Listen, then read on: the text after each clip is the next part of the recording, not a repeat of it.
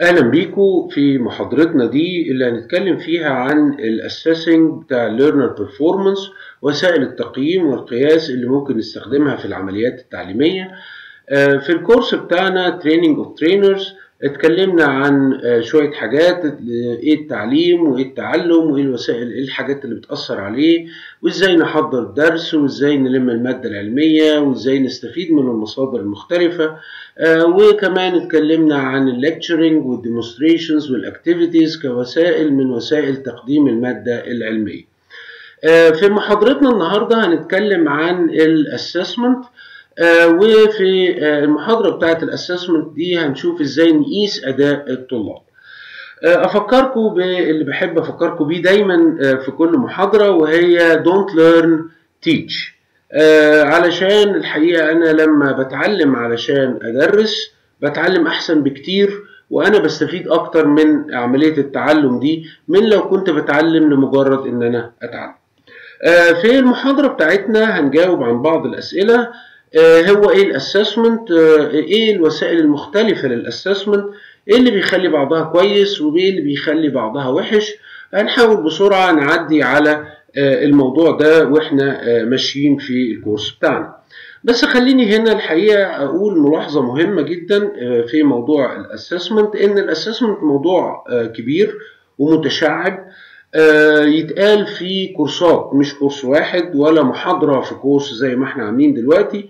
فكل اللي هنحاول نعمله الحقيقة علشان نكون واقعيين وأمنا مع بعض هو إن هقدم بس رؤوس موضوعات في موضوع ال assessment وتعريف سريع ببعض الوسائل بتاعة ال assessment آه آه لو جينا دلوقتي آه لل assessment of learner performance نحب نشوف بقى ال formal definition بتاعه هو إيه ال assessment فال formal definition الحقيقة بيحتوي على بعض الكلمات المهمة زي إنه يبقى طريقة سيستماتيك طريقة قابلة للتكرار وبتستخدم بشكل منتظم مع كل المتدربين أو المتعلمين والغرض منها هو توثيق الأداء بتاع الطالب وتوثيق الأداء بتاع المدرب أو المعلم برضه. التوثيق ده بيتم عن طريق قياس مجموعة من النقط النقط دي متوزعة على مدار الكورس أو على مدار المحاضرة متوزعة توزيع زمني زي ما هي متوزعة توزيع منطقي بحيث إنها بتتحط في نقط معينة في أثناء الكورس عشان تقيس ال performance الغرض من ال assessment في الأصل هو مسألة ال refinement دي. وهو إن إحنا مطلوب إن إحنا ال assessment يقول للمتدرب أو المتعلم إيه اللي محتاجه علشان يحسن من أدائه ويحسن من مستواه. زي ما هو برضو ال refinement ده بيرجع على عملية تصميم الكورس نفسه إزاي إن إحنا نقدر نحسن أداء المتدرب أو المعلم sorry المدرب أو المعلم وإزاي نحسن الكورس بمحتواه وإمكانياته في علشان تحسين العملية التعليمية مع الوقت. لو حبينا نبسط التعريف ده فهنقدر نقول حاجتين. الحاجة الأولانية هو إن لازم القياس يكون ريلايبل إحنا الأسسمنت هيبقى القياس بطريقة نقدر نعتمد عليها. زي المسطرة لما بنقيس بيها بنقيس بشكل موضوعي. مش هنختلف إن طول القلم الرصاص ده 16 سم مثلا بناء على اللي من المسطرة.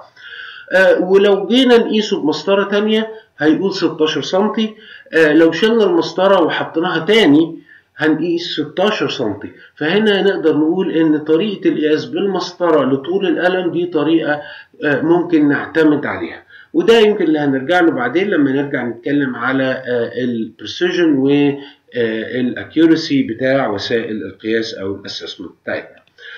برضو من الحاجات التانية إن أنا أقدر إن لازم وسيلة القياس دي يكون فيها element of comparability. بمعنى إن أنا ما ينفعش أجي أقول واحد ده لابس قميص أزرق وده شعره أسود يبقى اللي لابس قميص أزرق أحسن من اللي شعره أسود. ده ملوش معنى. فين إيه على أساس إيه قمت بعمليه الكومباريزن دي؟ آه عشان كده بنقول عايزين نقيس تفاح بتفاح أو برتقان ببرتقان القميص بالقميص والشعر بالشعر. آه كذلك إن أنا لما أجي أقول ده أطول من ده أو أتخن من ده أو أتقل من ده يبقى هنا أقدر أقول اكومبير بقى اكومبير بالوزن اكومبير بالطول اكومبير بأداء ما آه نقدر نقول ده أحسن آه من ده فهنا العنصرين دول هم اللي يهموني الحقيقة أساسا في عملية ال assessment إنه يبقى reliable وإنها يبقى فيها element of comparability. ده مقدمة سريعة اللي إحنا قلناه دلوقتي مقدمة سريعة هنخش بعديها على إيه الوسائل المختلفة في ال assessment فإحنا ببساطة قدمنا إيه ال assessment وقدمنا definition متكامل و definition بسيط لعملية ال assessment هنبتدي إن شاء الله في الفيديو الجاي من المحاضرة دي إن إحنا نتكلم على بعض الوسائل اللي بتستخدم للاسسمنت وإيه اللي بيميز بعضها عن الآخر ويمكن برضو نتكلم على بعض نقط الضعف اللي موجودة فيها. أشوفكم إن شاء الله في الفيديو الجاي.